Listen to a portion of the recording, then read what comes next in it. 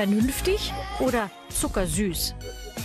Eine von tausend kleinen Entscheidungen, die wir alle täglich treffen. Warum entscheiden wir wie? Und lassen wir uns auch ohne Verbote irgendwie lenken? Vielleicht durch einen kleinen Stups Richtung Vernunft? Katrin Löhr ist Sozialwissenschaftlerin. Sie erforscht, was die Entscheidungen von Menschen beeinflusst. Unser Treffpunkt die Mensa der Uni Osnabrück. Hier ist nichts Zufall. Die Salatbar dominiert den Raum, denn die Studenten sollen sich gesünder ernähren. Das ist die Idee dabei, dass Salat sehr ansprechend dargestellt wird. Und natürlich habe ich auch alle anderen Optionen. Die sind praktisch jetzt im Moment in meinem Rücken. Ja, also der Fokus soll auf Salat liegen. Ja. Also das wäre jetzt auch vielleicht für eine Schulmensa wäre das eine gute, ein gutes Arrangement. Natürlich können die Studenten trotzdem noch Fritten essen und einiges Ungesunde mehr. Aber der Appetit auf Salat ist größer geworden. Denn der Aufbau der Mensa und die Anordnung des Essens lenkt die Entscheidungen der Studenten. Nudging heißt diese Technik. Also Nudging heißt erstmal stupsen und hinter diesem Begriff, diesem englischsprachigen Begriff, versammeln sich eine ganze Zahl von verschiedenen Techniken, die sich auf eine sogenannte Entscheidungsarchitektur beziehen. Das ist, äh, hört sich komplizierter an, als es ist. Also das ist im Grunde die Welt, in der wir leben und wie sie gebaut ist, wie sie gestaltet ist. Und diese Nudging-Techniken, die führen dazu, dass man sich in einer bestimmten Weise möglicherweise verhält oder eben nicht verhält.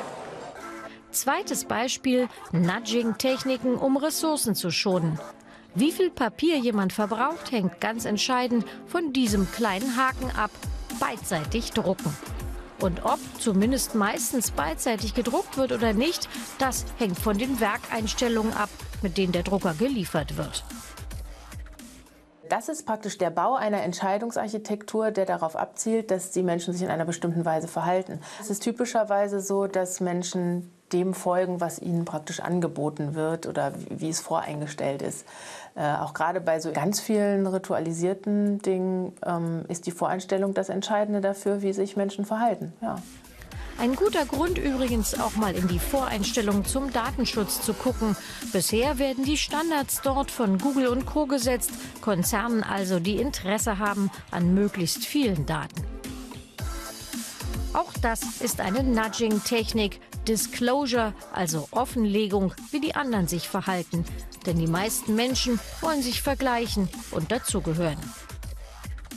Konkret heißt das, wer mit der Stromrechnung auch die Durchschnittswerte seiner Region und damit seiner Nachbarn erfährt, ist eher geneigt, Energie zu sparen viele Menschen, bei denen funktioniert das. Sie möchten ja zu einer Gruppe dazugehören. Das sehen wir ja in anderen Bereichen der sozialen Medien auch sehr stark. Und äh, auf, dieses, ähm, ja, auf diesen Mechanismus setzt man dabei. Wer natscht, versucht, Entscheidungen von Menschen zu beeinflussen, genau wie Firmen das mit Marketing und Werbung tun. Das funktioniert aber auch bei dieser Freizeitsportgruppe. Hartes Training, zweimal die Woche und fast immer sind alle dabei. Wie geht das? Sie haben im Voraus bezahlt und das ist nicht Ihre einzige Motivation. Das ist eine Mischung von drei Nudges.